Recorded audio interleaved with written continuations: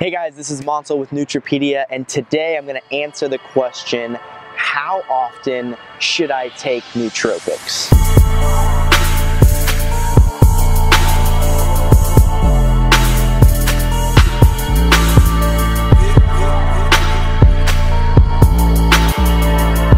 So guys, if you know Jesse Lawler from the Smart Drug Smarts podcast, he had one guest who had a famous quote, which was, homostat homostatic equilibrium will not be denied.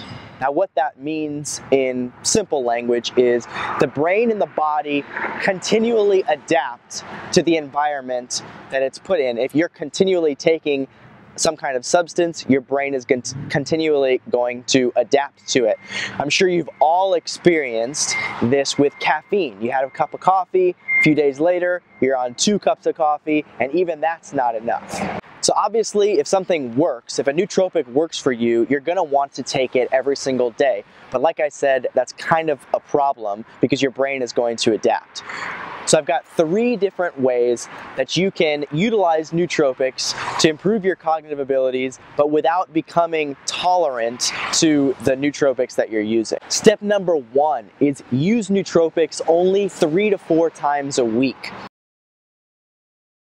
You want to make sure there are certain days where you're not using any kind of stimulants, any kind of nootropics to give yourself uh, an opportunity to rebalance out. This is the homostatic equilibrium part of the quote that I mentioned earlier, you want to make sure you're giving your brain ample time to recover. So number two is be completely random with your usage of nootropics. I know that sounds weird because most people want to have precise focus with their nootropics. What are they taking? How are they tracking it, etc. But you want to go a different route. For example, if you use caffeine one day, you might use phenylpiracetam the next day. You might use qualia the third day, then take two days off. That's just an example scenario for your week. Number three is use different mechanisms in order to improve your concentration or your memory. I'll give you an example. For me, caffeine works really well. It allows me to concentrate on my work, but caffeine increases dopamine and adrenaline and influences the adenosine receptors.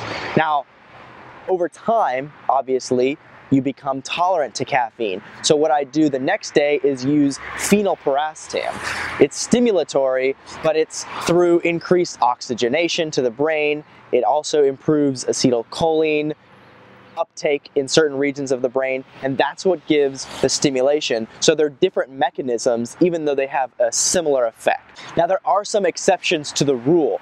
Some nootropics you want to make sure you're taking every single day because that's the only way that you see a benefit. One example of this is creatine, which needs to saturate your brain and your body cells. And taking creatine over the long term makes sure that you actually see those benefits. If you just take it once, you're you're not going to see any benefits really. There's also evidence to suggest Bacopa monnieri needs time to work as well. Some people think up to 12 weeks, 6 to 12 weeks is a good time frame for you in order to be improving your memory and other cognitive factors. Finally, if you're new to nootropics, piracetam is a memory enhancer that many people believe is needed on a daily basis.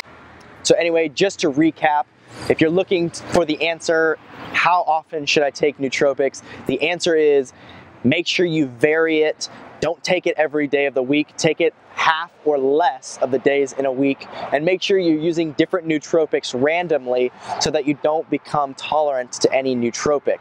Anyway, guys, I hope this has helped. If you want to learn more, go ahead and click right here. You will be taken to the Nootropedia page. It's all about nootropics, cognitive enhancers, but make sure you sign up for the email list because that's where most of the insider information comes. You're going to get a quick, uh, quick start cheat sheet and a free five-day course. So, like I said, go ahead, find it right there, and I'll see you guys next time.